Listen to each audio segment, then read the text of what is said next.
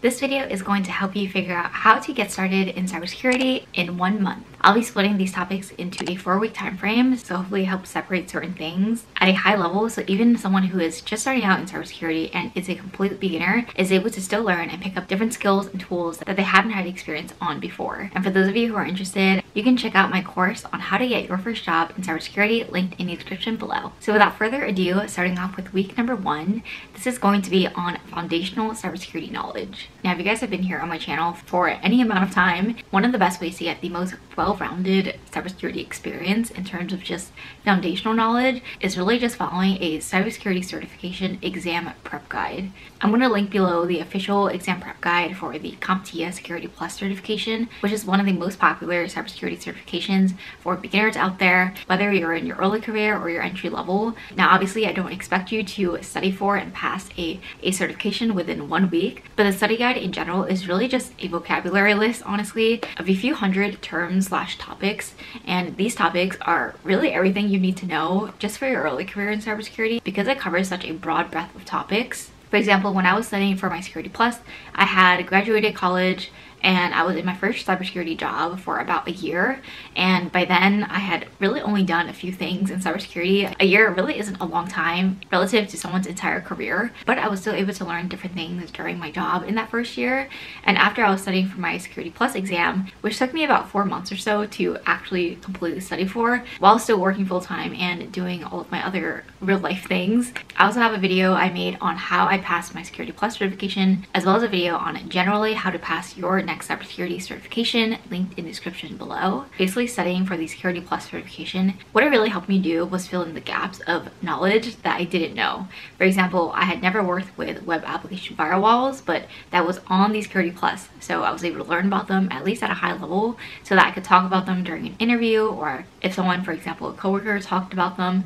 then I could at least follow along the conversation rather than having to Google on the side to see what a WAF is. So this first week, just take some time going through the study guide. It doesn't have to be for the Security Plus. It could also be for the GSEC or any other big popular cybersecurity entry-level certification that is generalized so that you're able to learn about topics across a multitude of different cybersecurity sectors from cryptography to malware to, to vulnerability management to identity and access management and even topics on security auditing and governance. Basically, there's going to be a cram week on studying different cybersecurity concepts so that you at least know the terms and this is what's going to build your foundation. And personally, I took my Security Plus in 2020 and to this day, it still helps me during my cybersecurity interviews, specifically for the fact that anytime I'm looking for a new job or a new role, I go back to my Security Plus exam guide and basically go through it like a vocabulary list and go through the topics that don't sound familiar anymore or maybe I need some brushing up on. And that's how I study for my cybersecurity interviews for my actual job search.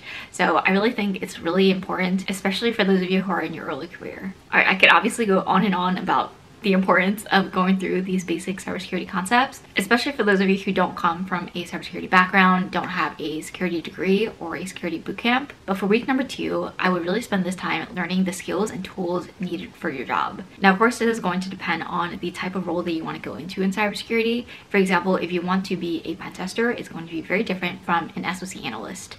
And that's going to be very different from a security auditor or a malware analyst. So what I would usually start with when you're at this point is to make a list of the top two or three jobs that you want to go into in cybersecurity. If you can whittle it down to one job, then that would honestly be perfect. But obviously, if you're just starting, then you may have a few roles in cybersecurity that you're interested in. But I would go on Google and just search the jobs that you want to go into and maybe even a company that you want to apply for. For example, let's just use Google as an example. If you want to be a web pen tester at Google, then look up this specific job and then go on there and then check to see their job description, the types of skills that they're looking for, the tooling that they're looking for, the experience level of the candidates that they want to hire. I really feel like so much information can be gathered just from the job description itself, whether it be tools that the company actually uses, the skills that they expect, as well as the types of experience that, that they want their candidates to have, whether they be educational or experiential. Then after doing a bit of Googling, make kind of like a short list of the five to six tools that seem to be the most common or pop up the most often that you've seen based on the tools that you want to apply for.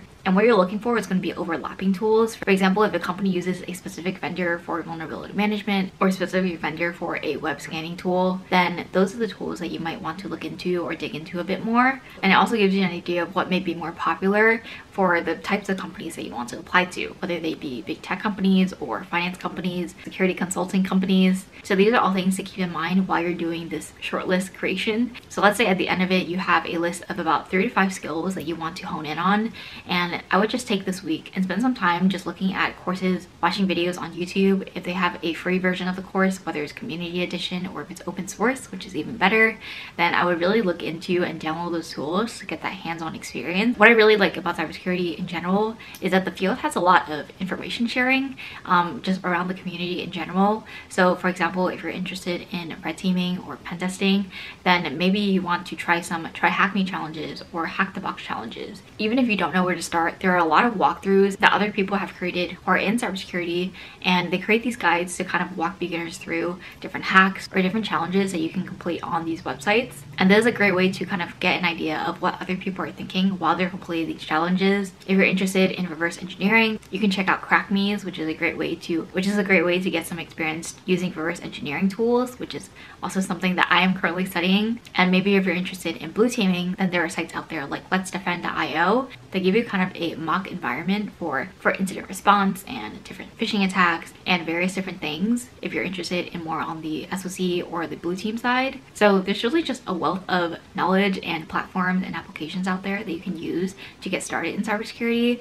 And I really think that this is helpful for people who have some experience in cybersecurity, but also those of you who may be just starting out. There is a huge need for cybersecurity talent. And honestly, the community knows that. There's even been times when I have been working on a capture the flag and, and I found some kind of helpful person or resource through Reddit or Twitter and, and people are actually willing to help you. And I think this is one of the best pros of just being in the cybersecurity field in general Obviously, people aren't just going to give you the answer to a CTF, but if you're reaching out, then there are a lot of people who are willing to give you hints or some kind of push to help guide you towards the right path. And of course, just using sites like YouTube and Googling different articles and walkthroughs and blogs are going to be a huge help on top of the official documentation for whatever tool that you're wanting to learn. And honestly, a lot of companies or vendors specifically that have some kind of cybersecurity tool that they want security professionals or security organizations to use, they typically have some kind of training. A lot of times it is free because they want people to adopt the usage of these tools. Sometimes you may need to create an account or start a free trial, and that can open the door to a free training or some kind of course that they use to teach you how to use a specific tool. And that in itself can already be a huge helpful resource on top of all the free material that you're already using to learn. Our week number three is for scripting skills and command line. So obviously not everyone watching this video is going to want to learn how to script or code, but I really think that's one of the most important skills to have, whether you're working in cybersecurity or not. I think it's just one of the most in general sought after skills in technology, but obviously not everyone wants to learn how to code. So if you're not interested in coding, then I would take this week to learn basic command line tools. Or if you're feeling like really challenging yourself, then maybe learn some scripting and command line tools in the same week. So scripting versus coding, scripting is very lightweight. It can just be one Python script, one JavaScript file, while coding is typically going to be a full stack application with many different libraries and dependencies and everything else attached to it. So I'd really start out with scripting since it's typically going to be the skill that you're using more compared to coding, which is typically for full stack developers or software engineers. If you're learning how to script, if you're just starting out, then I would start out with Python just because the syntax is pretty easy to understand as a beginner.